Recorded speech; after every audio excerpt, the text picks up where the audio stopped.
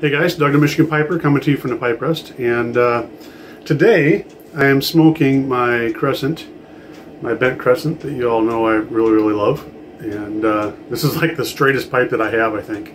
Uh, and I don't I don't love it because it's uh, a straighter pipe, trust me. But in it, I am smoking Amphora Burley Blend. This is the next stage of my Amphora, Amphora smokes. Uh, and I really, really like the Virginia blend. And the Kentucky blend I put on the shelf for now. Uh, I think I'm going to like that in the wintertime.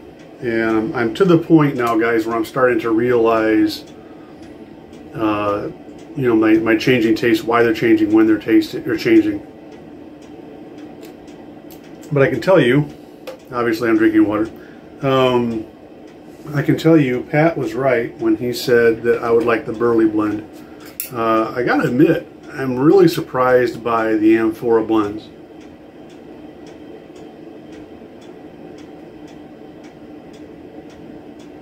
For some reason, I was thinking Amphora was kind of, eh, you know, don't don't put too much stock in Amphora blends. It's not the best tobacco. Uh, not saying it is the best, but these are pretty good blends. And then you you, you factor in the the price point, and you can't beat it. So, um, you know, when I went to the Chicago show, I was just gonna my oh, my goal was to find the the Virginia Amphora Virginia, and they sold this sample, so I bought the what are six or seven blends that they had, and uh, so far I've not been disappointed with any of them. The only one I got left now is English blend, which I'm. You guys know me, I'm not much of an English smoker, so we'll see how that goes. But I might just shove that in a jar for wintertime.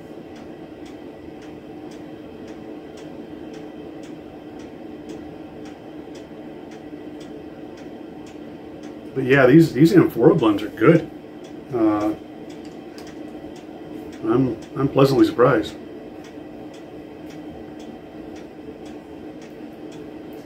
Looking at getting a new video or a new uh, camera. And when I say new camera, I mean a camera in general because I film on my phone. Um, I uh, not real, not super tech savvy, but I do like doing the video editing and stuff when I have time.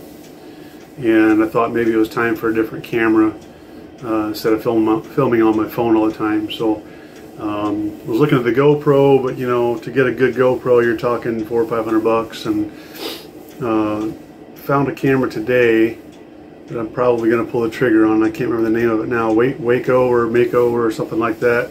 Uh, did a lot of reviews on it. It sounds like it's it sounds like it's the one that I want. So I'll do maybe I'll do a video down the road on it, guys, and uh, uh tell you how it turns out. But uh, those small cameras, those they call them action cams, I guess, but they're good for vlogging and stuff as well. Those uh, those have come a long way, and you know they're all waterproof now and tiny, and and uh, the reason why I liked it was because not only can I use it to film down here, uh, but I can also use it like we're getting ready to take another family vacation here shortly in, in July, and and uh, I'll be able to take it with me on there. You know, take it kayaking with me, not have to worry about it getting wet and uh, it'll be it'll be fun to, to do that. So yeah, it's uh, we'll see how it goes. I'll give you guys an update once it comes through.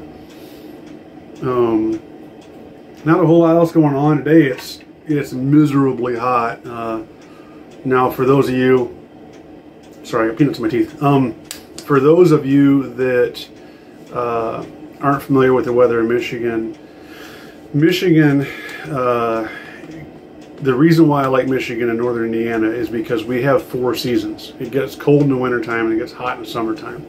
And uh, so today it's 99 degrees, but the humidity level is up there. And Michigan is, is pretty bad on the humidity level, especially in that what we call the Michiana area, northern Indiana and southern Michigan. So, you know, to be out in it, it just, as soon as you walk out the door, it just takes it out of you. You know, you just kind of, your shoulders slump and it's like, oh, it's, it's hard to breathe. It feels like it feels like it's hard to walk through even. So yeah, it's kind of a good day to be inside, to tell you the truth.